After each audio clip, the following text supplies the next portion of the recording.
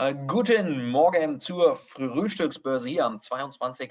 Juni 2020. Und äh, wie ich sehe hier durchaus auch in Teilen jedenfalls wiederum die gleichen Teilnehmer zum Teil jedenfalls hier dabei. Johannes, du warst ja eben auch gerade schon im englischen Webinar dabei. Äh, genau. Von daher, klasse. Freut mich, dass ihr weiterhin einschaltet. Viel Erfolg logischerweise wie immer in den ja aktuell schwierigen Handelszeiten. Nicht, dass Märkte generell einfach sind, aber aktuell bewegen sich ja die Märkte, die ja vermeintlich vielleicht so freien Märkte nicht in freier Wildbahn, sondern im Gegenteil natürlich ganz klar regierungsgesteuert, Zentralbankgesteuert, liquiditätsgesteuert, äh, was, was wir in den letzten Monaten ja gesehen haben hier an den Märkten, spiegelt durchaus interessante Möglichkeiten und Chancen, logischerweise wieder. Auf der anderen Seite bleibe ich auch dabei, das Risiko, was die Großen in der Branche eher verringert in den Märkten gerade eingehen, sollten wir uns als äh, Kleinanleger entsprechend auch ein Stück weit hier zu Gemüte führen und auch daran denken, dass weniger Risiko ein wenig äh, mehr sein dürfte.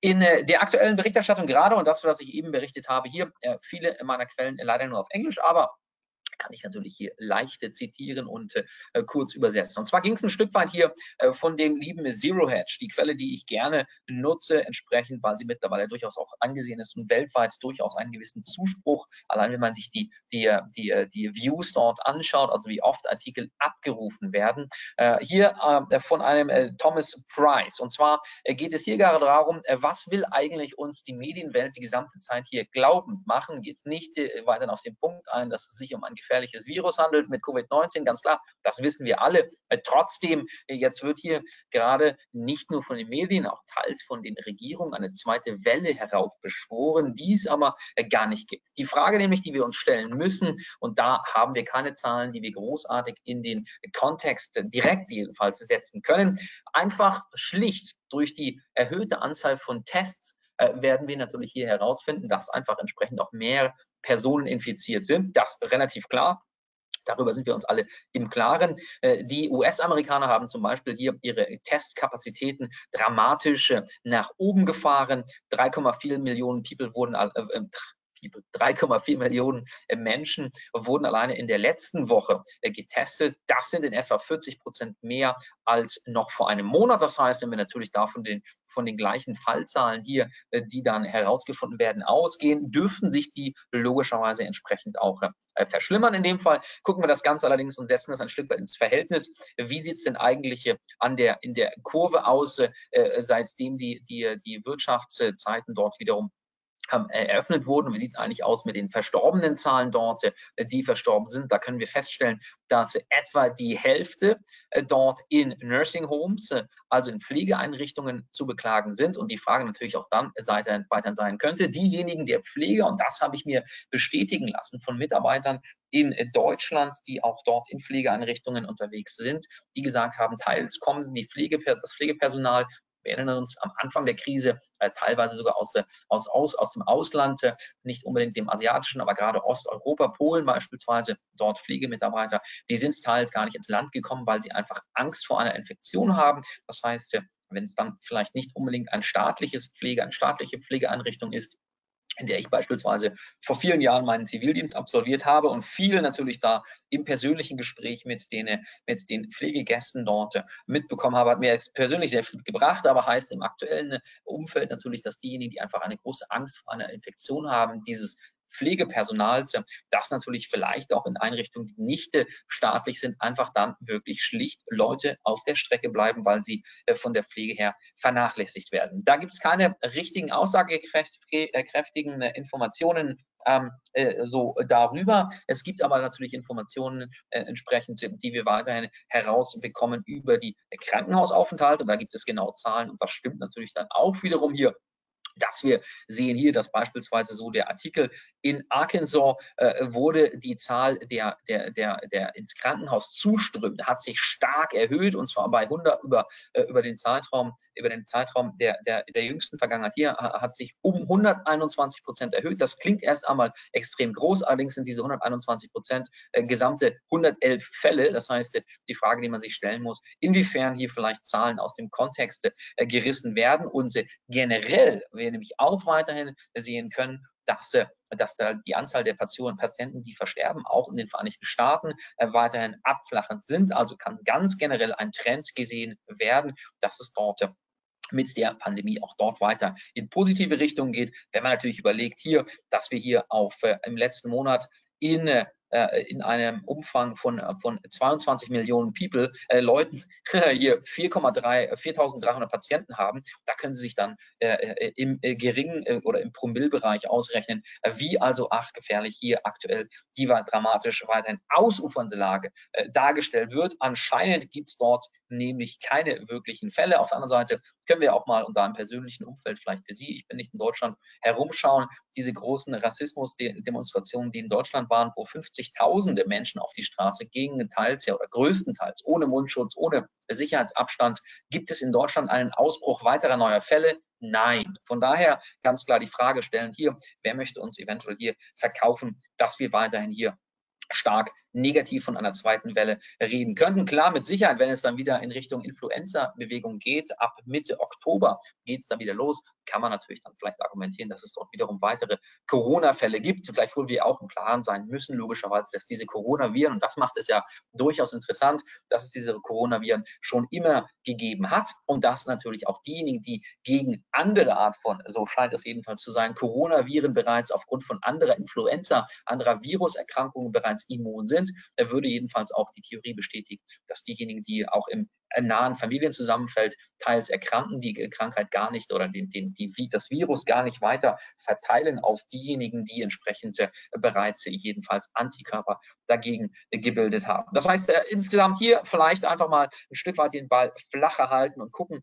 wie wir dort, wie wir dort entsprechend die Marktbewegungen dort einschätzen. Denn der große, und das ist der Faktor, der mich hier stark beunruhigt, äh, in welche Richtung denken wir eigentlich gerade? Sind wir nicht alle ein Stück weit äh, verrückt? Die alten Römer, das habe ich auch schon erzählt, die alten Römer, die, äh, die zum Ende des Imperiums des Römischen Reiches äh, 100 Prozent des Bruttoinlandsproduktes für Luxusgüter in oder aus China investiert haben und danach dann es zum Untergang haben bringen, bringen können, das, das ähm, römische Imperium. Vielleicht ist es aktuell gerade hier unsere, unser, unser Wohlstand Deutschland, der uns sagt, wir müssen jeden und alles vor jedem Virus, vor jeder Bedrohung schützen, koste es, was es wolle und äh, investieren gerade 100 Prozent oder mehr als bald, äh, aktuell ja noch nicht, aber die ganze Situation ist ja noch nicht am Ende, darin in der Wirtschaft, die Wirtschaft zu unterstützen, uns alle zu unterstützen und so weiter. Die Punkte, die wir natürlich hier gerade an den Märkten sehen, sind ganz klar ziemlich fatal. Wir haben ganz klar erst einmal Liquidität in den Märkten. Das ist auch erstmal gut und richtig so. Nur führt das Ganze langsam zu weiterer Verschleppung, wenn wir uns alle hier überlegen, wie viel weniger wir reisen. Ich bin gerade noch äh, in äh, Thailand hier in Bangkok unterwegs mich äh, mit, mit guten Freunden am Wochenende äh, hier, wie ich es ja in der letzten Woche angesprochen hatte, treffen können. Einer von denen war auch ein Trader, den ich kenne übers, übers Netz, mit dem ich mich ein paar Mal schon in Singapur getroffen habe. Der arbeitet hier in Teilen auch mit der thailändischen Regierung ähm, hier zusammen, war auch im, im Cyber Security, also in, in Sicherheitsunternehmungen aktiv, die halt um Online, um Online-Sicherheit kämpfen. Und er sagte, hat un, unweit, mehrere Wohnungen unweit von Bangkok hier in einem Städtchen, was sich Pattaya nennt, äh, äh, viel Zustrom hier von der westlichen Bevölkerung im Tourismussektor, aber auch von der thailändischen, Bevölkerung. Und äh, die Zahlen, die er aufgrund der, des Auftrags der Regierung dort erarbeitet hat, besagen, dass er in Pattaya, wie gesagt, großer Tourismus-Hotspot hier am Meer, unweit von Bangkok entfernt,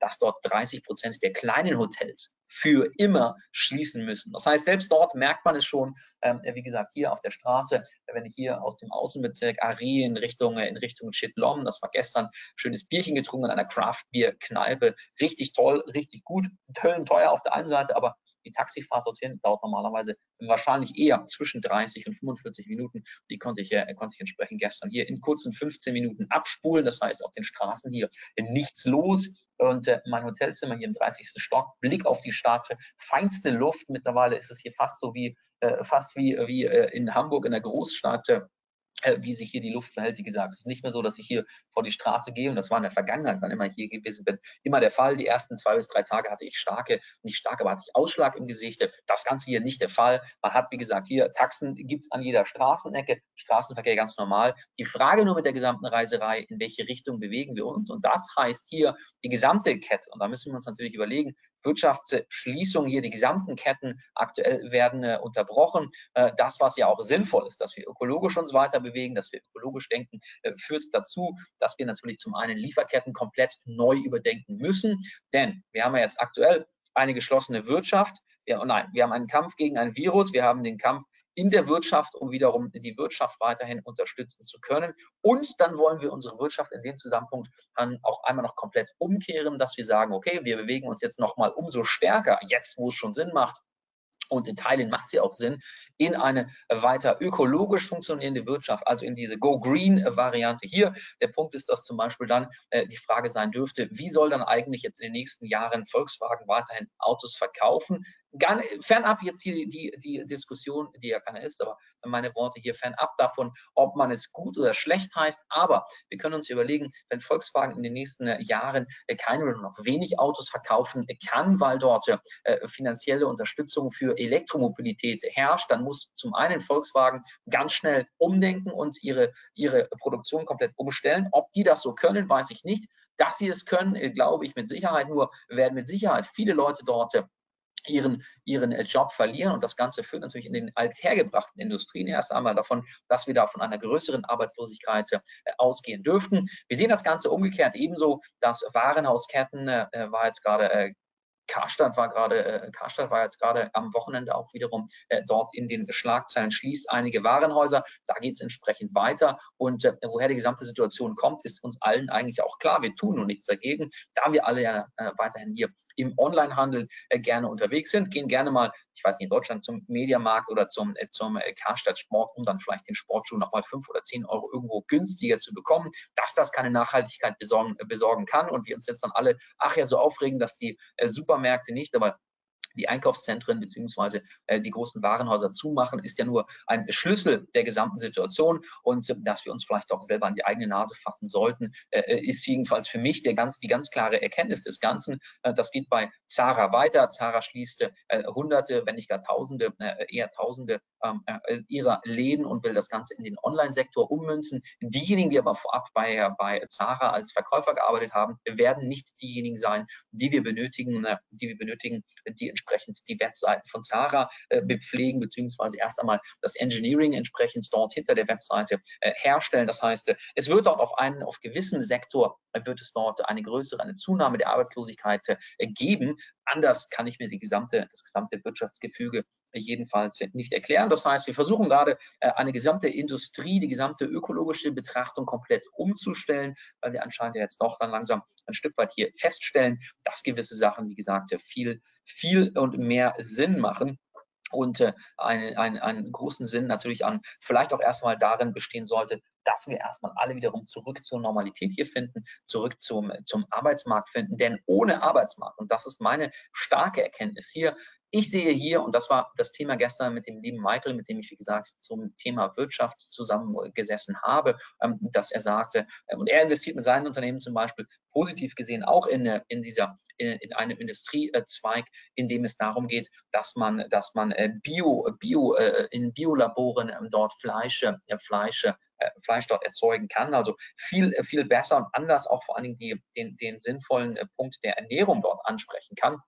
Und äh, ähm, er sagt aber auch, irgendwo scheint ja hier einiges auf der Strecke zu bleiben. Wie gesagt, die Hotels hier in Thailand, in Thailand ist, äh, ist der Anteil der, der des Tourismus äh, äh, insgesamt am Bruttoinlandsprodukt in etwa bei, äh, liegt bei 20 bis 30 Prozent, also extrem hoch.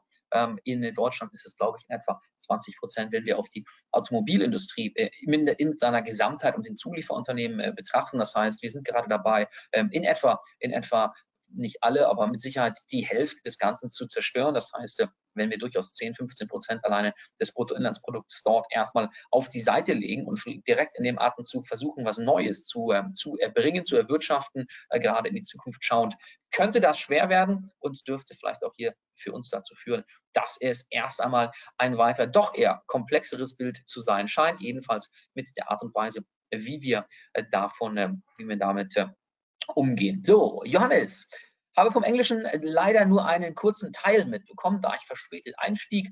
Deshalb meine Teilnahme nochmal an der Frühstücksbörse. Die Marktsituation ist ausgesprochen volatil. Deine Analysen finde ich sehr interessant und hilfreich. auch im weiteren Sinne. Super, Johannes, gerne, freut mich. Wie gesagt, ich äh, sehe das Ganze hier von mir nur als Anregung im großen Puzzleteil. Ähm, ich habe äh, nicht ansatzweise eine Idee und eine Ahnung, nur manches Mal, da vermisse ich insgesamt in der gesamten Situation hier die Betrachtung des großen Ganzen. Jetzt haben wir hier äh, 84 äh, Millionen Deutsche, die wir äh, die wir vor einem Virus geschützt haben, äh, größtenteils. Und das war mit Sicherheit ja auch äh, nicht unbedingt sehr unerfolgreich. Nur die Frage ist, äh, was erreichen wir im Umkehrschluss? Wir können im Umkehrschluss zum Beispiel sagen, dass die Arbeitsmarktsituation sich verschlechtert. Wir können im Umkehrschluss sagen, das wird jeder auch eigentlich nachvollziehen können. Das Geld kommt nicht von ungefähr hier oder von, von irgendwo gerade was äh, die Unterstützung äh, anbelangt, die wir zum einen von den Notenbanken, zum anderen natürlich dann von den Milliardenpaketen, und das ist erst der Anfang der Milliardenpakete im Hinblick auf die nächsten äh, sechs bis zwölf Monate, also so, so die, die Schätzung natürlich, es kommt irgendwoher. Und selbst wenn nur ein Teil des Gesamten wiederum zurückbezahlt werden muss über Umwege, heißt das, dass die finanzielle Belastung natürlich in Deutschland weiterhin ansteigt. Jetzt gibt es die große, diese große ähm, Impf, Impfinformation natürlich, beziehungsweise diese große Impf Debatte, die weiterhin, und da blicke ich gerne zurück, die äh, Schweinegrippe entsprechend ebenso. Auch die wurde damals als ach, ach so hochgefährlich her, her hoch beschworen. Auch die haben entsprechend äh, damals vom, vom Robert-Koch-Institut mit so starken oder vor allem der Weltgesundheitsorganisation Pandemiebewegungen entsprechend gefördert. Die Frage ist, in welche Richtung äh, geht das Ganze und äh, versuchen wir nicht gerade in unserem Wohlstandsgetöse hier insgesamt, und das ist meine, meine, meine feste Meinung, versuchen wir nicht in unserem Wohlstandsgetöse hier aktuell einfach alles und jeden vor irgendetwas zu schützen, was eine Gefährlichkeit besitzt, aber nicht im Ansatz vielleicht mal zu bedenken, was nämlich der darauf folgende Punkt ist. Denn jeder Flieger von der Lufthansa aktuell, das kommt ja hier als nächstes Thema weiter, der gerade am Boden steht, kann man jetzt gut oder schlecht heißen, kostet Geld, vernichtet Unmengen an Kapital. Das ist bei jedem geschlossenen High-Hotel der Fall, das ist in jedem geschlossenen anderen Produkt hier der Fall. Ich habe jetzt hier gerade, lebe in einem Hotel, kostet normalerweise 140, 160 Euro die Nacht, kriege ich jetzt hier gerade für 30. Ich freue mich darüber einen Keks, aber insgesamt ist es natürlich nicht, äh, wie sagt man, äh, äh, sustainable. Also kann, lässt sich nicht dauerhaft hier tragen von der Hotelindustrie hier. Wie gesagt, ich freue mich gerade, aber die unternehmerischen, äh, die, äh, die Unternehmer, die dahinter stehen, entsprechend äh, sind eher natürlich dabei, dass sie sagen, gut, bevor es jetzt hier komplett leer steht, schauen wir, dass wir die Nachfrage ein Stück weit jedenfalls hier ähm, unterstützen äh, können. Und wie gesagt, das große Ganze der gesamten Situation ist es, sind diese Pflegeeinrichtungen vielleicht und die alten Menschen, die verstärkt dort sterben, darauf zurückzuführen dass beispielsweise äh, dort Pflegekräfte fehlen, wissen wir nicht. Ist es beispielsweise auch darauf zurückzuführen, da könnte man jetzt hier weitergehen. Beim Wall Street Artikel, äh, äh bei Wall Street gibt es einen äh, Wall Street Journal einen guten Artikel äh, um, dies, um den Impfstoff und generell bin ich ein Impfbefürworter. Wenn es um Masern und, und vor allen Dingen Tetanusimpfungen geht, ganz klare Sache, dass die gemacht werden müssen.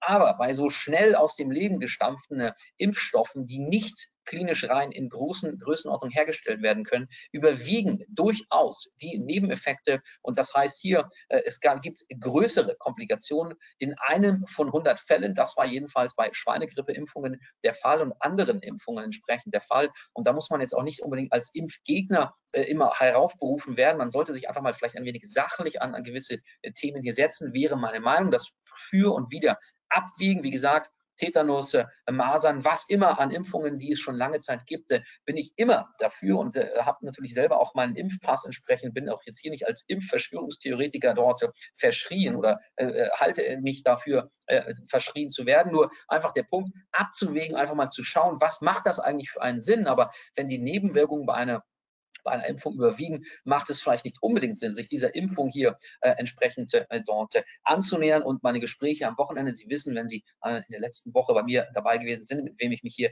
getroffen habe, da gab es durchaus Informationen, die genau diese, diese Informationen hier äh, decken. In Deutschland ist es gerade so, dass äh, Krankenhäuser ihre Betten auf den Intensivstationen freigehalten haben, dass Krankenhäuser Betten freihalten mussten sogar, beziehungsweise es getan haben. Denn Dort gab es ja 500 Euro, wie es mir scheinte, für, die, für ein freigehaltenes Krankenhausbett. Also, wenn es natürlich schon Geld für umsonst gibt, für keine Dienstleistung und keine Arbeit, kann man sich selber natürlich als Krankenhausbetreiber im äh, wahrsten Sinne natürlich hier privatwirtschaftlich organisiert, wie wir das ja seit einigen Jahren ja so befürwortet gemacht haben. Schön unsere staatlichen, staatlichen äh, Punkte, die alle eigentlich in öffentliche Hand gehören, zu privatisieren und jetzt äh, bekommen entsprechende Betreiber auch noch äh, gratis dort äh, natürlich Geld äh, zurückgesteckt. Information ist äh, nicht immer nicht immer richtig in dem Fall, aber auf der anderen Seite ist vor allen Dingen aber auch hier das Thema Gesundheit äh, vielleicht nicht immer in den richtigen Händen. Plus und das sind die wichtigen Punkte hier äh, zum Thema Impfungen, dass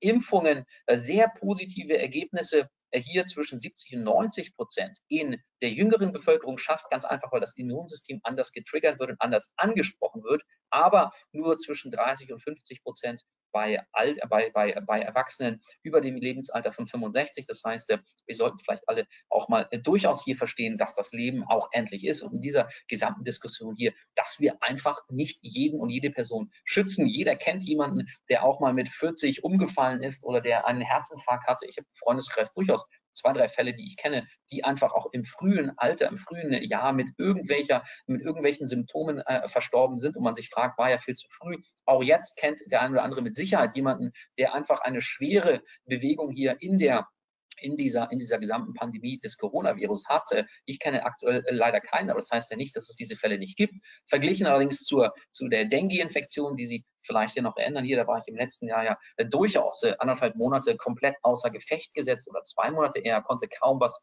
äh, für sie tätigen. Das war zwar keine Pandemie, das war aber auf lokaler Ebene in Singapur äh, locker so, dass im äh, Freundes- und vor allen Dingen Bekannten oder auch in der Nachbarschaft bei mir es so war, dass ich locker 20 Fälle aufzählen könnte, bei denen es eine, eine, ein schwerer Verlauf dieser Dengue-Infektion gegeben hatte. Das heißt, selbst wenn ich mich da in Singapur lokal bewege, kann ich davon ausgehen, dass man da ja auch versuchte, die die, die Fallzahlen im, im Dengue-Virus dort nach unten zu bringen. Gelingt leider nur schwer. Im Übrigen haben wir gerade auch wieder aufgrund der aktuellen Situation äh, wahrscheinlich eher, denn die Dengue-Phase ist definitiv nicht in dem jetzigen äh, Zeitraum der Fall. Wir haben stark ansteigende Fallzahlen wiederum dieses äh, Dengue, dieses, dieser Dengue-Fälle das heißt, auch da äh, kämpft man vielleicht gerade auf einer anderen Ebene wieder gegen etwas und äh, muss natürlich wiederum immer das eine gegen das andere abwägen. Also da gibt es viel für und contra. Ich glaube nur meiner Meinung nach, dass das ganze, diese ganze System, das ganze System hier sich gerade vollständig verselbstständigt hat. Ich glaube nicht, dass da irgendjemand große Pläne schmiedet, aber einfach diese Art und Weise, dieser Riesenantwort, wir machen einen Riesen-Lockdown, vollständig überhastet ohne, ohne jedwedes äh, Überlegen zusammenzählen, was macht eigentlich wenn, wie Sinn. Und äh, da sehen wir jetzt gerade, dass wir alsbald den höchsten Preis, glaube ich, zu Lebzeiten bezahlen müssen. Denn ich glaube, dass, wie gesagt, dass wir hier an, äh, an, an Qualität, an Lebensqualität und vor allen Dingen auch äh, ja, an äh, an Prosperity, wie heißt es, Lebensqualität definitiv und vor allen Dingen auch an äh, Finanzstärke insgesamt global gesehen allesamt nicht einpacken können, aber dass das hier zu großen Kapitalvernichtungen führen wird und wir alsbald hier eine eher Verärmerung, Verärmung der Situation sehen und äh, entsprechend keine, keine positive Bewegung hier herauskommen sehen. Ganz einfach, weil zu viele, zu viele Lebensadern, da gibt es ja schöne Berichte auch im Bekanntenkreis hier äh, in dem politisch einseitigen Spektrum, die sagen, ja, das macht ja auch gar nichts aus, man muss ja auch gar nicht kaufen, der Konsum wird zurückgedreht. Stimmt auch alles, ist alles super, ist vernichtet trotzdem einfach nur Millionen weltweit gesehen, Millionen von Arbeitsplätzen. Das kann man gut oder schlecht halten. Die Klamottenindustrie beispielsweise. Wir sehen nur definitiv, dass hier einfach richtige, richtige Ketten komplett wegbrechen und dass das dazu führt am Ende, dass viel weniger von uns einen Arbeitsplatz haben werden. Anders kann ich es mir nicht erklären und anders äh, sehe ich jedenfalls keinen Ausweg aus der Situation, jedenfalls nicht so, wie wir ihn aktuell hier, äh, hier, äh, hier äh, betreiben. Und äh, die Frage natürlich hier in Ihre Richtung, in eure Richtung auch gerne. Und äh, da bin ich gerne dabei und würde mich auch eigentlich eher sogar freuen, eine äh, angeregte Diskussion zu führen, denn äh, für mich macht einfach so dieses große Ganze hier keinen Sinn. Singapur war auf guter, äh, auf gutem Wege anfangs der, dieser der Pandemie einfach durch Mundschutz, durch Tracing-App, durch äh, Verbote, durch Kontaktverbote äh, dabei, beziehungsweise Einkaufen, äh, äh Bürogänge ins Büro auf ein Minimum zu reduzieren, Homeoffice die Fallzahlen gingen stark nach unten. Warum dann am Ende eine, eine, eine, ein Lockdown auch in Singapur, der kam erst sehr spät durchgeführt wurde. Ich habe da politisch, politisch auf der Agenda, kann ich da einiges sehen entsprechend, denn auch dort, genau wie in anderen Ländern, führt natürlich dann immer der Lockdown dazu, dass die Regierung positiv von der Bevölkerung aufgefasst wird. Aber wenn man sich einfach mal die Überlegungen hier anbelangt und Singapur ist reich genug, um diese Pandemie auch noch in den nächsten Jahren wahrscheinlich dort durchzustehen. Aber diejenigen, die auf der Strecke bleiben, sind die ausländischen Unternehmungen dort, die Ausländer, die natürlich dort, äh, wie ich beispielsweise, äh, ähm, äh, Kapital durch die Gegend schieben. Aber die Unternehmungen, die lokal betroffen sind, werden finanziell logischerweise vom Staat unterstützt. Diejenigen, die es halt nicht schaffen, wandern, wandern ab und ja, bleiben in dem Fall auf der äh, Strecke. Eventuell gesundheitliche Langzeitfolgen von Impfungen sind absolut unklar, sagt Tim. Das sind eben genau die Punkte und äh, ähm, äh, wiederholt sind das genau die Punkte, die man nicht nur im Netz, die man auch sonst so findet. Die Frage, dass der, der einen Unterstützung und da macht, wie gesagt, macht manche, manche, manche, manche, äh, manche Impfung macht definitiv Sinn. Nur die Frage muss natürlich hier lauten, sind diese Impfstoffe in der kurzen Zeit äh, erprobt worden? Weiß man bisher nicht. Und die Punkte, die natürlich da negativ dagegen sprechen, sind äh, beispielsweise genau das, was du sagst. Diese Langzeitfolgen kann man noch nicht abschätzen. Und das macht es äh, entsprechend äh, äh, so prekär. Auf der anderen Seite könnte man, und das ist ja genau meine Kritik entsprechend hier, mediale Kritik, man sagt immer 100.000 neue Fälle gefunden. Wir könnten uns jetzt auf den Weg machen und könnten einfach mal die gesamte Welt durchtesten nach, äh, nach dem äh, Tuberkulosis-Bakterium, nach dem Erreger. Da würden wir uns ja nämlich schwindelerregende Zahlen bekommen. Dann würden wir nämlich feststellen, dass ein Viertel der weltweiten Bevölkerung, ein Viertel der weltweiten Bevölkerung knapp an Tuberkulosis, also nein, nicht erkrankt eben ist, sondern dass ein Viertel äh, ein Träger dieses Bakterium äh, beinhaltet. Weltweit sterben an Tuberkulosis 1,4 Millionen äh, Tote. Das sind, glaube ich, die aktuellen Zahlen. Da wurde bis jetzt auch noch kein Lockdown durchgeführt, wäre aber im Vergleich zum Coronavirus durchaus, durchaus durchaus äh, vergleichbar und äh, könnte man vielleicht in dem gesamten, äh, gesamten Konstruktum hier mal zusammenführen. Auch entsprechend testen man aber natürlich auf Tuberkulosis nicht, sofern jemand kein Krankheitsbild aufweist. Warum man jetzt beim Coronavirus hier Gott und auch noch die Katze und den Hund durchtestet und entsprechend natürlich da versucht, was durchzudrücken, ist mir relativ schleierhaft, aber es gibt durchaus den einen oder anderen Profiteur des gesamten, äh, des gesamten, der gesamten Situation und generell kann man äh, durchaus grob sagen, dass Jeff Bezos einfach, dass die Microsofts, Bill Gates beispielsweise und andere natürlich dort und die Apples weiter eher positiver davon gehen, weil sie entsprechend von vornherein eine größere Marktmacht haben und dass die Marktmacht konzentriert wird. Denn ganz klar, das werden wir alle hier natürlich auch jetzt gerade nicht nur sehen, dass dann Zara und wer auch immer hier verstärkt Läden zumacht, aber dass dann ganz klar natürlich Amazon weiterhin wächst. Soll denen auch ja nicht vergönnt sein. Das Unternehmenskonzept funktioniert ja entsprechend auch. Wir müssen uns nur, wir müssen uns nur im Klaren sein, dass wir dort äh, Macht abgeben, dass wir einige, einige Konglomerate weltweit haben, die entsprechend die Marktmeinung, Marktmacht durchdrücken können und dass ganz klar natürlich auch der Einfluss der Regierungen weltweit wächst, wie es gerade schon tut, denn die Regierung, wie wir es ja verstehen, äh, entscheidet ja, was wir zu tun und zu lassen haben. Ob das jetzt gut oder schlecht ist, kann jeder selber beurteilen. Ich habe da eher so meine Zweifel, wenn ich in die Zukunft äh, schaue. So, jetzt haben wir Wirecard hier, die 2,1 2,1 äh, Milliarden dort ja irgendwie einfach vermissen. 2,1 Milliarden für ein Unternehmen, auch für ein DAX-Unternehmen, ist schon relativ viel Geld. Die Banken in den Philippinen vergleichen in Deutschland ich kenne die selber auch, die Banken, also sind durchaus große Institute, die ähm, Bank of the Philippine Islands und die, die äh, Bank de Oro. Das ist jetzt vergleichbar, vergleichbar im äh, dortigen Land durchaus mit Deutscher Bank und Commerzbank auf kleinerem Niveau, aber das sind jetzt keine, keine, keine Klitschen, die in der hinten, hinteren Ecke nochmal kurz irgendwo ein kleines Bankgebäude haben. Also vielleicht mal nicht eine kleine Volksbank irgendwo mit, äh, ne, gleichwohl Volksbank natürlich auch eine Marktmacht äh, irgendwo in Deutschland haben, aber das sind große Kreditinstitute, die sagen, dass dort Wirecard kein Kunde von ihnen ist und und äh, ja, weiterhin man also schaut, was in den Märkten passiert. Ich bleibe dabei, ich erwarte weiterhin negative Nachrichten. Ich erwarte, erwarte weiterhin, dass diese Pandemie-Nachrichten weiterhin mit dem neuen Finden von tausenden neuen Fällen eher eine, eine gewisse negative, äh, negative Einstellung in der Bevölkerung stört. Das ist ja genau mal das Problem. Hat jemand, ich habe gerade von Tuberkulose gesprochen, Angst davor. Ein Viertel der Menschheit ist, ist mit diesem Bakterium infiziert und könnte also auch Übertrager sein. Wir wissen, uns wird immer gesagt, exponentielles Wachstum, ach so gefährlich, Vorsicht, Obacht.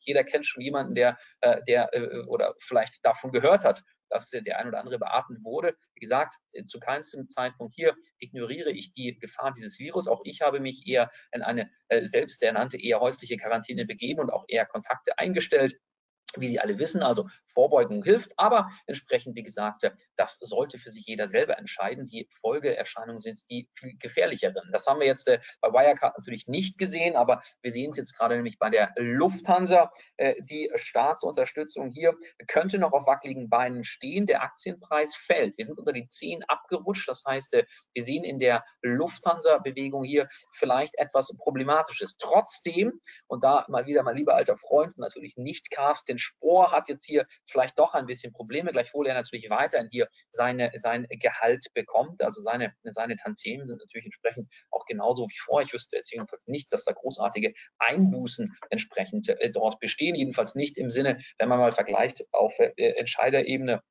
zur, zur, äh, zur, auf der Entscheiderebene äh, dann das Ganze runterbricht äh, zu, dem, äh, zu dem Piloten, der jetzt der, der hier in Furlough ist, auf Englisch, wie heißt es auf Deutsch, äh, ähm, in, also dass er zu Hause bleiben muss und nicht arbeiten darf und dafür staatliche Unterstützung hier bekommt. Das deutsche Wort fällt mir gerade nicht ein, ähm, aber Heinz-Hermann Thiele könnte dort interessant werden. Es gibt dort aktuell scheinbar keine 50 Prozent der der Markte, der Marktteilnehmer, respektive der Anteilseigner dort, der, der Aktienanteilseigner, die sich dort für diesen Online, für das Online-Treffen entsprechend für die Online-Aktionärsversammlung zusammengesetzt haben. Das heißt, man bräuchte dann jetzt zwei Drittel Mehrheit und einen Großteil dieser Mehrheit hat eben entsprechend Heinz-Hermann Thiel. Das heißt, das wird interessant, inwiefern es dort weitere Aussagen dazu gibt. Der von mir vorhin zitierte Geschäftspartner und Freund von mir ähm, hat, hat Mitarbeiter, die er kennt, im, im, mittleren Management äh, von, von Flughäfen beziehungsweise von auch von, von Airlines im, im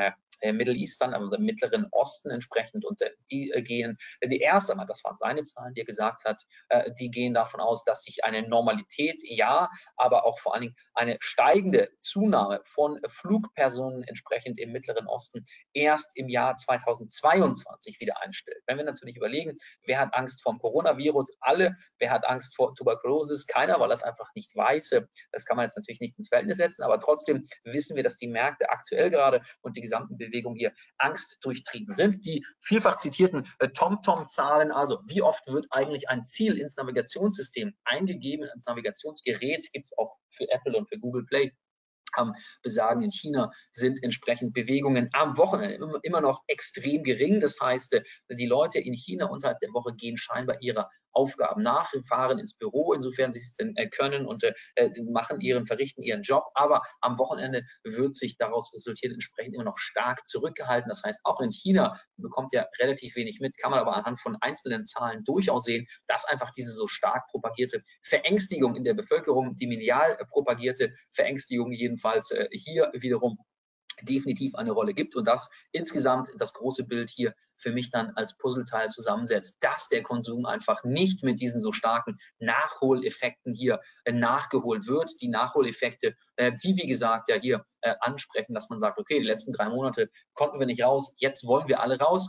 Ich bin am Freitag von Phuket ja mit dem super Social Distancing im Flughafen. Wollten die das dort äh, super gemacht haben. Gab ja auch nur äh, drei Flieger, die da am Tag den Airport verlassen haben. Normalerweise sind es immer so äh, zwischen 15 äh, und 30 Flieger, wenn ich mich entsinne, die, die, die täglich die anderthalb, äh, anderthalb Stunden Strecke zwischen Phuket und Bangkok abfliegen. Äh, aktuell sind es noch drei Flieger und selbst mein Flieger war nicht gefüllt. Das heißt, äh, daran kann man sehen, äh, wie lukrativ diese Strecke äh, zu sein scheint, nämlich gar nicht, wenn von den vorangegangenen äh, mindestens 20 Fliegern täglich, die ja die auch eine gewisse äh, Füllung her äh, darstellen. Aktuell sehen wir, wie gesagt, drei und mein Flieger äh, war, der, war der eher äh, der eher meistbevölkertste, wie ich am Flughafen habe erfahren können. Dann können wir daran schon ablesen, wie aktuell die, die Reisesituation jedenfalls hier in Thailand sich, sich sich bestätigt, nämlich einfach, dass keiner vor die Tür geht und dass keiner entsprechend hier etwas tut. Sonst wäre es auch vor allen Dingen hier, und das ist ja gerade das Schöne in Bangkok, nicht so, dass man hier keine Verkehrsstaus hat, sondern einfach sich hier so wirklich wie in Singapur, wie vielleicht in Hamburg auch nicht, aber in Singapur setze ich mir ins Taxi, bin ich zehn Minuten später da, wo ich hin möchte, weil einfach keine Staus, äh, Staus entstehen. Gleiches aktuell hier. Perfekte, perfekte Situation, macht Spaß, plus alles ist hier gerade sehr billig. Also kann nur alle daran anzuregen, schützen Sie Ihre Wirtschaft, gehen Sie reisen, kaufen Sie in Ihrer Kneipe einfach mal wieder ein Bier und lassen sich es nach Hause liefern. Also entsprechend auch äh, sehe ich nämlich genauso, dass wir auch in dem, in dem äh, durchaus in einer Verpflichtung sind, uns hier gegeneinander zu unterstützen, nicht nur im Kampf gegen das Virus, sondern vor allen Dingen auch äh, im Kampf äh, eines wirtschaftlichen Kollapses, den ich nämlich hier weiterhin natürlich eher starke, stark sehe. Gucken wir uns JP Morgan an. JP Morgan hat gesagt, hier, Investoren sollten sehr selektiv sein in der zweiten Jahreshälfte hier. Was gibt es hier? Aha, die Liquidität als solches auf dem Papier kann nicht einfach nur wirtschaftliche Schwächen äh, dort herausfinden. Also, wenn die JP Morgan Kollegen jetzt entsprechend auch sagen, dass wir dort ein bisschen äh, aufpassen müssen, denn die ähm, die Bewegung in Richtung des Portfolio-Managements, so sehen die das aus der gesamten Möglichkeit und einfach nur hier Liquidität in die Märkte zu pumpen, wie es gerade die Notenbanken machen, äh, sollte nicht darüber hinwegtäuschen, dass wir aktuell hier große Insolvenzprobleme sehen. Also Wirecard als einziges wäre vielleicht mal ein Sonderfall hier, aber wenn wir uns weiterhin in Richtung Lufthansa bewegen oder wenn wir uns einfach mal eine, eine, eine Hyatt Hotelgruppe oder eine Starwood Gruppe angehen, äh, an, an, annehmen, wie gesagt, ich habe in der letzten Woche angesprochen, mit American Express, mit denen ich weiterhin und in den letzten zehn Jahren immer schon sehr zufrieden bin, die gesagt haben, dass sie mir dort als Platinum-Karte äh, mit Member dort äh, einen, einen, einen sehr aus, einen höheren Geldbetrag dort äh, zurückerstatten beim täglichen Einkauf im Vergleich zu der Kartengebühr, die ich dort habe. Das heißt, man sieht schon, wie Unternehmen differenziert dort an die, an die Lage gehen und das ist definitiv natürlich ein, insgesamt allesamt dort teuer zu stehen kommt. Gucken wir uns nochmal die Aktienmärkte an. Und da sehen wir gerade weiterhin, dass der DAX jetzt hier mal ein bisschen Richtung Märkte zurück, dass der DAX sich auf der Long-Seite wieder ein wenig bewegen kann. Trotzdem bleibe ich dabei, dass dieser Knick in der Kurve und in der letzten Woche haben wir uns ja seitwärts bewegt, bin ich eher weiterhin hier auf der unteren Seite unterwegs und bin eher der Meinung, dass der Markt sich wiederum hier leicht schwächer bewegen könnte. Die Warnungen auf der Long-Seite, dass die Märkte warm laufen, sind kurzfristig äh, definitiv äh, dabei. Diejenigen, die hier Markus Koch in der letzten Woche auch verfolgt haben, haben auch seine Positionierung bzw. seine Aussagen dort aus der Wall Street-Seite mitbekommen. Ich halte von ihm ja weiterhin sehr viel und finde auch seine Berichte immer sehr, sehr passend und sehr anschaulich.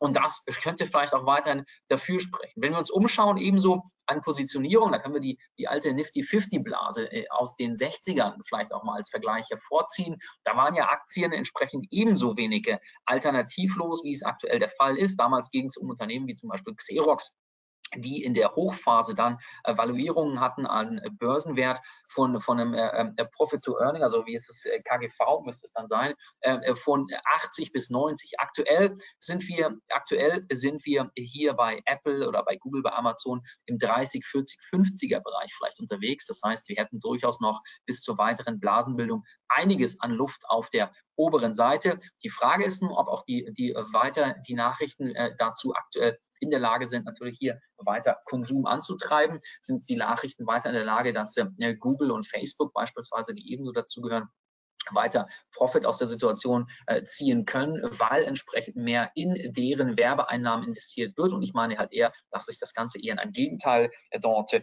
umdrehen wird. Unternehmen versuchen gerade eher Mitarbeiter loszuwerden und vielleicht sich hier auf Kernkompetenzen zurückzuführen und nicht die Ausgabenseite zu steigern. Im Gegenteil, sie sind gerade dabei, eher den Grundkapitalstock und die Grundrentabilität eines Unternehmens einigermaßen in funktionierende Ebenen zu drücken. Das heißt, ich sehe weiterhin hier keine großartig positiven äh, Bewegungen an den Märkten und sehe weiterhin hier nicht, warum, warum es jetzt, äh, warum es jetzt hier alles so stark sich positiv bewegt. Solange die Bevölkerung so verunsichert ist, wie sie es gerade ist, und das sehe ich, wenn ich hier einfach nur und wenn Sie vielleicht auch vor die Tür gehen. Ja, gibt es hier natürlich schon.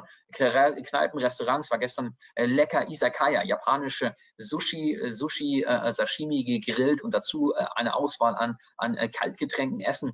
Richtig lecker geschmeckt. Der Laden war auch durchaus gut gefüllt. Aber entsprechend äh, sehen wir insgesamt viel weniger Leute äh, auf der Straße, heißt die Nachfrage bleibt weiterhin gering. Das heißt, die Aktienmärkte könnten langfristig gesehen weiterhin zulegen. Wir sehen aber keine weiteren Rückkaufaktionen. Das ist auch noch ein weiterer Punkt, der an den Aktienmärkten äh, ein, ein positiver Punkt sein könnte oder auch entsprechend negativer Punkte. Äh, die stark liquiden Unternehmen wie entsprechend die großen Pharmaunternehmen aus den Vereinigten Staaten, die auch in den letzten Jahren natürlich Gehälter damit refinanziert haben, dass sie die Eigenkapitalrendite je Aktie natürlich weiterhin äh, oder die Aktienrendite äh, weiter nach oben gedrückt haben, indem diese Unternehmen stark Aktien zurückgekauft haben. Rückkäufe von Aktien sind teurer, bringen den Aktienkurs natürlich dann nach vorne, heißt aber auch, dass die Rendite je Aktie berechnet natürlich dann entsprechend steigt gleichwohl die, die insgesamt die Nachfrage der Unternehmen und die Umsatzsteigerung eher geringer, äh, geringerwertiger steigt. Das heißt, wir sollten jetzt dann sehen, wie sich die Bewegung in den nächsten äh, Monaten hier weiterhin, äh, weiterhin darstellen lassen. Und ich bin da eher ein wenig positiv, äh, ein, ein wenig negativ gestimmt, weil, wie gesagt, die Märkte gerade schon hier natürlich so komplett durchs Dach gelaufen sind. Heißt das für mich, erwarte ich eher mehr Weg auf der unteren Seite. Wie gesagt, bleibt dabei hier, an welchem Punkt sind wir gerade? Am quasi Allzeitpunkt der, der Geschichte hier des Nasdaq heißt die Bewegung nach unten, das Tail Risk im Risikofaktor Coronavirus hier für mich überwiegt jedenfalls. Ich wäre also jetzt nicht unbedingt gerne dabei, die Aktien auf der Long-Seite mir hier ins äh, Portfolio zu legen. Das sind diese Bewegungen hier. Wir sehen weiterhin kaum Positives, wenn wir uns den Nasdaq anschauen. Der hat sich natürlich wiederum hier zurückkämpfen können, aber die Einzelwerte, die dort erst einmal weiterhin herumgurken, sehen keine positiven, keine weiterhin äh, positiven, äh, stark positiven Bewegungen. Amazon leicht besser. Apple, wie gesagt, Apple dürfte ein wenig weiterhin hier negativ aufgrund vielleicht auch der, äh, der, der, der, ähm, der, der Geschäfte weiterhin sein. Facebook sieht auch nicht mehr aktuell weiterhin positiv aus. Und wenn wir uns Tesla angucken, auch da gibt es noch etwas. Aber wenn natürlich hier äh, Tesla, die Tesla-Unternehmung entsprechend wenn ich mich nicht täusche, den gesamten Börsenwert anderer Automobilzulieferer oder Automobilunternehmen in einer Aktie vereint hier, dann dürfte doch etwas faul sein, denn wir können uns auch im Klaren sein, dass es hier jetzt nicht unbedingt ein großes Hexenwerk ist, hier äh, etwas übertrieben, aber äh, ein Stück weit Blech zusammenzuschrauben, Batterie und Elektromotor reinzusetzen. Ich bin großer Fan meines Elektrorollers, für diejenigen, die es nicht wissen habe einen äh, Elektroroller in Singapur, geniales Gefährt, bringt mich von A nach B, ist energieeffizient, kostet mich nichts eigentlich und bietet extrem schöne, positive Flexibilität natürlich mit. Ich weiß, Fahrradfahren wäre besser, aber ist nun eben so. Heißt, äh, die Konkurrenz hier von einem neuen Tesla könnten wir vielleicht sogar weiterhin hier auch relativ zeitig erwarten. Da blicke ich gerne nach China, die es ja gerne mit der gesamten Staatsmacht auch schaffen. Und blicke ich gerne nach Indien und blicke also Indien in Form von Tata und äh, Südkorea vor allen Dingen natürlich ebenso, die entsprechend dort schnell aufholen könnten. Und genauso das dürfte auch jetzt hier nämlich großes Problem sein bei Wirecard das Geschäftsmodell, das Vertrauensverhältnis ist gerade komplett untergraben. Die dürften hier alsbald richtig böse aussehen insgesamt in der Situation und dürften äh, schlecht, äh, schlecht dastehen. Die Konkurrenz schläft nicht, die Konkurrenz im Kreditkartengeschäft ist extrem groß. Das könnte hier doch schnell nochmal negative Punkte äh, mit sich bringen. Was haben wir noch? Heute lange Session. Hoffe, Sie haben noch ein bisschen Luft und Lust hier zuzuhören.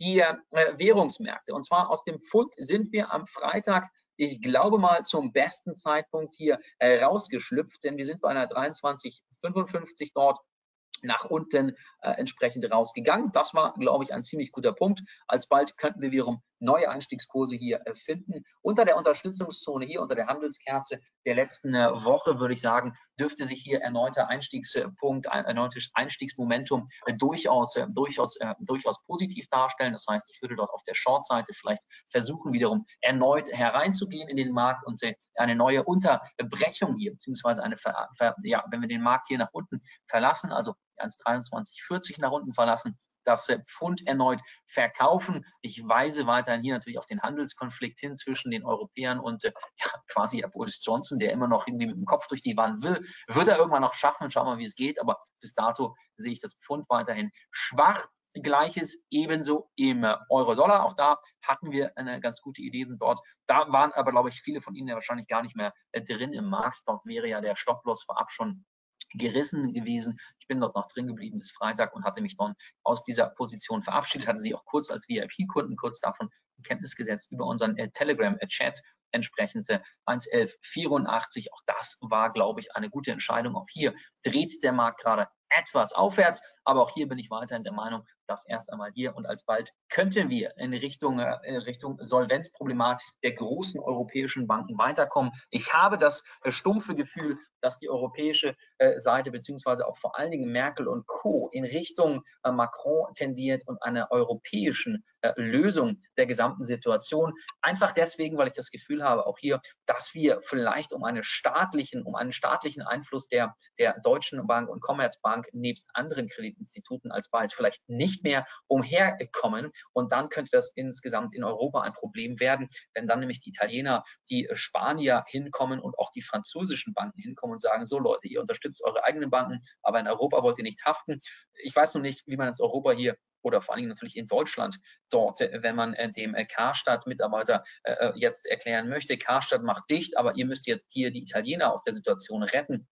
Ich glaube nicht, dass es dort positiven Zuspruch in der Bevölkerung gibt. Aber wie gesagt, das Problem ist jetzt in dem Fall leider oder zum Glück nicht meines. Ich halte es nur in dem Fall in Europa, von dem ich als großen Wirtschaftsblock eigentlich viel halte. Asien, China Europa, Deutschland, Frankreich nebst den anderen Wirtschaftsräumen. Großbritannien hat es ja selber nun verbockt, äh, wie sie es so wollen, aber entsprechend natürlich den US-Amerikanern entsprechend auch ebenso äh, da zu schauen und eine Gegenseite entsprechend zu bilden, eine Gegenseite zu bilden, äh, die, die entsprechend natürlich Positives mitbringen könnte. Brauchen wir Europa, brauchen wir auch ein kräftiges Europa, aber auch ein selbstbestimmtes Europa mit den richtigen Leuten an der Führungsspitze, die entsprechend auch, die wie der Phil Hogan beispielsweise gerade in der aktuellen Situation ein Stück weit mal ein, ein Gegenbild ab, ab, ab darstellt und sagt, dass man, dass man sich aus dem, aus dem Ausland, gerade in Großbritannien, jetzt aktuell nichts viel bieten lassen will. So, das haben wir also hier. Wir sehen hier den Euro ein wenig zulegend. Ich sehe weiterhin fundamental eher Schwäche und würde eher in Richtung einer 1,10-Phase hier zurück tendieren. Das heißt, vielleicht blindende Order unter der Unterstützung hier legen. Wie gesagt, Obacht, wir sind heute am Montagshandel unterwegs. Hier auch Anfang der Handelswoche positiv, danach dreht alles nach unten. Letzte Woche das gleiche Spiel. Anfang der Woche positiv, sehen wir im, Stunden, im Stundenchart hier, 1, 2, 3, 4, 5, also Montag, Dienstag hoch und dann Mittwoch, Donnerstag, Freitag negativ runter, wenn wir uns das Ganze hier anschauen im Euro-Dollar. Und das klingt für mich eher dafür, dass wir, wenn wir jetzt hochlaufen, dann eher dafür sprechen könnten, hier im Hinblick auf, den, auf das Handelsende dieser Woche weiter fallende Kurse zu sehen. Also traditionell gesehen hier auf Wochenebene Euro-Dollar schwach, Pfund schwach, gucken wir uns jetzt noch den dritten großen Markt hier an, und zwar den Yen gegenüber dem US-Dollar. Der zittert ein wenig und der ist immer noch weder Fisch noch Fleisch. Warum? Weil die Aktienmärkte eher weiterhin zulegen. Äh, also daher der Japaner natürlich hier weiterhin ein wenig herumgurkt und sich keine eigene Meinung bilden kann. Wir sehen also Dollar, wie gesagt, ja gerade ein wenig schwächelnd. Trotzdem legt Dollar-Yen gerade ein wenig zu und zwar Euro-Dollar schwächelnd, beziehungsweise Euro-Dollar stabil, so gesehen. Euro-Dollar läuft hoch, Dollar also schwach, Dollar schwach gegenüber das Pfund aktuell ebenso. Dollar schwach gegen Aussie und ebenso natürlich hier gegen, gegen Kiwi. Heißt aber, gegenüber dem Yen kann sich der Dollar noch einigermaßen behaupten, ganz einfach, weil der Yen selber gerade, der Yen selber gerade auch ein Stück weit aufgrund von Risikoaffinität in den Märkten verliert. Heißt, Funde Yen kann ein wenig zulegen, weil der Fundepreis sich verteuert.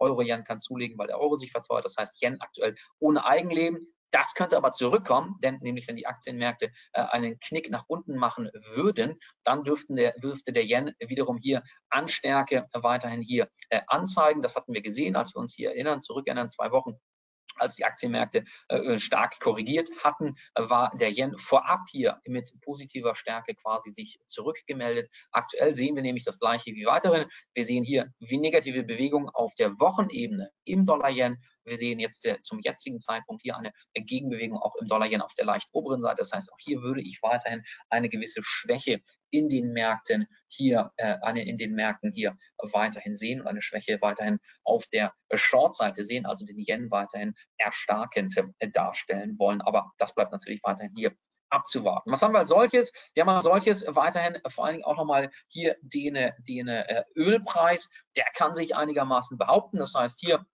sehen wir den Ölpreis durchaus strategisch in die 40er Bewegungsebene hochlaufen. Auch das sieht eigentlich gut aus. Wir hatten eine Doji-Kerze am Freitag. Die kann man jetzt negativ interpretieren. Ich würde aber eher davon ausgehen, dass der Markt wirklich nochmal weiter hochläuft. Einsteigen würde ich aber nicht. Da würde ich erstmal auf eine durchaus größere Korrektur hier noch warten wollen. Aber wir können auch sehen, dass der Ölmarkt aktuell dann den Norweger wiederum ein wenig beflügelt. Das heißt, der Euro, obwohl er sich stärker gerade gegen andere Währungen präsentiert, er verliert gerade ein wenig gegenüber der norwegischen Krone. Das könnte hier über den Tag weiterhin zu Short-Potenzial hier führen. Und wir sehen äh, Risiko, äh, Risikoaffinität in den Märkten auch am Euro gegenüber dem Schweizer Franken. Auch Euro-Schweiz, Euro-Swissi können hier zulegen. Der Schweizer Franken, wie gesagt, ja genau wie der Japaner entsprechend äh, hier auf der Short-Seite handelt. Gleiches Handelsbild wie Euro-Yen, also auch hier erwarten die Märkte gerade scheinbar eher Risikoaffinität. Die kommt in den Märkten heute ein wenig äh, zurück.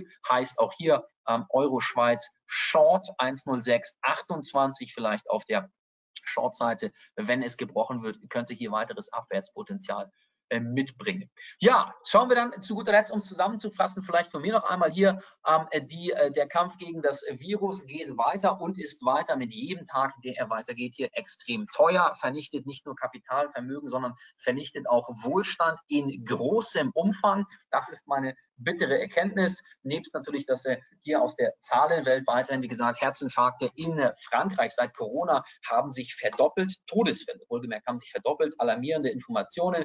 In Afrika dürften, weil sie nicht in die Schule gelassen werden, circa eine halbe Million Kinder äh, dem Hungertod leider erleiden können. Also wir haben hier richtig große Löschmaßnahmen, die viel Schlimmeres vielleicht mitbringen könnten. Ich würde mich wirklich freuen, wenn Sie eine gegenteilige Meinung haben dazu und mit Ihnen dann diskutieren können. Ich meine das wirklich ernst, weil ich einfach finde, dass wir uns viel stärker auseinandersetzen müssen, nicht mal nur alles verdammen müssen und äh, hier verunglimpfen müssen. Im Übrigen die alle, die positiv äh, gegen den lieben Herrn Wieler sind. Der Gute ist Tierarzt und hier an der Entscheidungsebene äh, quasi äh, auf der Entscheidungsebene äh, was bundesweit die, die Bundesregierung anbelangt. Ob das die richtige Person ist, weiß ich nicht. Äh, Sebastian, äh, heißt der Sebastian? Christian, Christian Drosten hat seine, hat seine, hat seine, seine, seine, seinen PCR-Test validieren lassen in Thailand, also hier quasi ums Eck in Thailand und in äh, zwei weiteren Ländern in, äh, in Asien, ich glaube noch in Südkorea noch irgendwo. Das heißt auch dort, äh, was man generell nicht unbedingt machte, die Validierung des PCR-Tests im Ausland in dem Umfang hier äh, könnte man auch nochmal hinterfragen, wenn man es überlegt. Und wenn man dann überlegt, wie äh, die Japaner entsprechend positiv in der Krise hier größtenteils ohne Lockdown agiert haben, wie besonnen die Taiwanesen äh, agiert haben, hier erstmal landdicht gemacht und selber abgewartet und gemessen. Geringe Todesfälle im Übrigen auch hier in Thailand. Zu keiner keinster Weise gab es hier eine Überfüllung äh, der Krankenhäuser. Das weiß ich aus erster Hand, weil ich äh, mehrere Mediziner kenne, die hier äh, tätig sind und entsprechend auch gesagt haben, dass es hier nie große Fallzahlen gegeben hat und man hier wirklich sagt, okay, wenn jemand äh, dem Coronavirus äh, dort erleidet, dann führt man das genau dem Coronavirus zu. Wenn jemand aber äh, starke Vorerkrankung hat, sagt man, was hat denn jetzt überwogen? Also 80, 80 Jahre alt, mit 40 Fieber einge, einge, eingeliefert ins Krankenhaus und dort am Krankenhauskeim infiziert. Übrigens auch stark hohe Todesursache global gesehen hat das hier hat das hier in Thailand wird das hier in Thailand ein wenig anders gemessen. Das heißt, man wiegt hier ein wenig mehr ab. Es gibt dann noch die Schweden entsprechend ebenso. Da kann man natürlich auch nochmal argumentieren, wenn man jetzt dann Schweden und Belgien gleichsetzt, wenn man es denn will, äh, dass dort entsprechend man in Belgien mit dem starken Lockdown eher natürlich dort äh, der, dem Coronavirus äh, dort erliegen ist als die in Schweden. Im Übrigen, Im Übrigen alle Länder, die dort dem Coronavirus ein wenig anders entgegentreten, wie die Thailänder, die Südkoreaner, die Taiwanesen, die, die Japaner und in Hongkong das der Fall ist und auch in Schweden. Da sind Mediziner am Werk, die insgesamt, wie ich das jedenfalls so rausgehört habe, alle vom Fach sind. Und äh, da sollte man sich vielleicht überlegen, ob man dann weiterhin einen, äh, einen Professor, Professor Susharik Bhakti, der im Übrigen äh, mehr als 300 Publikationen dort in seiner Laufbahn als Chefplatz, dann ob man den dann wirklich so kleinreden muss oder ob man sich vielleicht dann doch mal zusammensetzen sollte an einen Tisch und einfach mal diskutieren sollte. Denn der Mann ist Mikrobiologe und Epidemiologe und wird in den Medien aktuell so zerrissen. Also, Meinung bleibt bei Ihnen. Meine Meinung äh, wissen Sie seit Wochen und ich bin der Meinung, dass wir hier mit viel, viel schlimmeren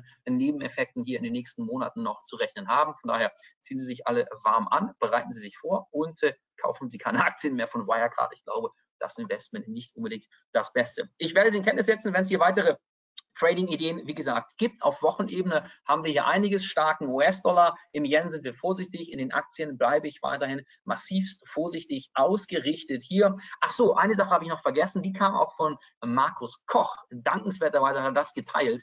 Wird für mich höllenspät hier, aber Darauf freue ich mich einen Keks, denn äh, hier gibt es, und zwar einen finanziellen Cycle Summit. Also hier gibt es einfach mal ein Denken in Zyklen. Das hatte Markus im Freitag, glaube ich, in seinem, in seiner, in seiner, in seinem Wall Street Berichte äh, geteilte Informationen. Ich würde mich freuen, wenn Sie diesen hier entsprechend unentgeltlich, vor allen Dingen immer wieder gute Informationen, die man im Netz ja auch gerne mal äh, gratis dort erhalten kann. Tim, ich benutze einmal kurz deine, deine Worte hier, um das zu äh, teilen für, und oh nee, warte mal kurz. Doch, ja, genau. So, äh, schicke also kurz hier im Chat Ihnen allen den Link dort zu diesem äh, äh Summit der Zyklen. Und zwar gibt es hier richtige Highlights und zwar gratis, wie gesagt, zum wiederholten Male. Sherman McKellen, und zwar geht es hier um, über das, über, um die Überlagerung von mehreren Zyklen. Also, wie ist das Vertrauen in die Banken? Ist das Vertrauen an einem positiven Punkt, an einem negativen Punkt? das Ganze per künstlicher Intelligenz und mathematischer Prozesse zusammengerechnet. Der äh, Sherman McCallum wird entsprechend darüber sprechen und äh, äh, ansprechen, wie und an welchem Punkt der, der, der Pandemie oder der Epidemie wir gerade uns hier äh, befinden. Also wichtige Einsichten, wie kann es mit dem Coronavirus statistisch, mathematisch berechnet äh, gerade sich weiterhin entwickeln. Dann haben wir hier Larry Williams, wenn Sie den MetaTrader öffnen und den Williams-Indikator öffnen, dann ist das genau mich der Typ hier, der diesen Indikator ins Leben gerufen hat. Der dürfte mit Sicherheit auch spannende Informationen mitbringen. Und so geht es weiter. Also die Überlagerung von verschiedenen Zyklen, Wirtschaft, Rezession, ähm, äh, äh, steigende Haus an den Aktienmärkten, pandemische Ausbreitung entsprechend. Das Ganze, das Ganze im gesamten äh, Kontext hier über die Handelswoche hier und zwar vom Montag heute bis zum Freitag immer 16, 17 Uhr das müsste die US-Zeit natürlich dann sein, äh, Central, äh, Central Eastern Time äh, sein. Also spannende, spannende Punkte. Hier äh, Jeffrey Hirsch, also da sind, da sind Vertreter hier äh, Jeffrey Hirsch Holdings, ne? also richtig, richtig gute, richtig gute richtig gute, smarte Köpfe, die dort ihr, ihr Wissen von sich geben. Ich glaube, dass wir das Ganze nicht leider auch nicht aufzeichnen können hier, beziehungsweise man nicht aufzeichnen kann, wir sowieso nicht hier. Das heißt, ich muss ein wenig länger wach bleiben. Aber das interessiert mich wahnsinnig, weil ich glaube, anhand einfach aufgrund von mathematischer äh, Berechnungsmodelle eine gewisse Zukunft hier heraus, her, heraus zu, herauszurechnen, das dürfte spannend sein. Zumindest einfach mal die Informationen hier äh, zu, zu, zu sacken zu lassen und äh, zu, zu überlegen, ob das einen gewissen Sinn machen könnte. diejenigen von diesem Institut hier, von diesem Cycles Events Institut, die das Ganze hier ins Leben gerufen haben, finde ich super. Und wie gesagt, wäre nochmal eine Information am Rande, die ich Ihnen auch definitiv ans Herz lege. So, erst einmal, das nächste von mir, die Hot Assets, die ich äh, gerade noch übersetzen werde und äh, dann äh, natürlich hier weiterhin die Informationen ganz klar in unserem Telegram, sollte es weiteres Neues für Sie geben. Erfolgreiche Handelswoche wie gewohnt und dann schauen wir noch mal hier, äh, in welche Richtung sich die Märkte in den nächsten Tagen bewegen. Bis dahin, viel Erfolg. Ciao, ciao.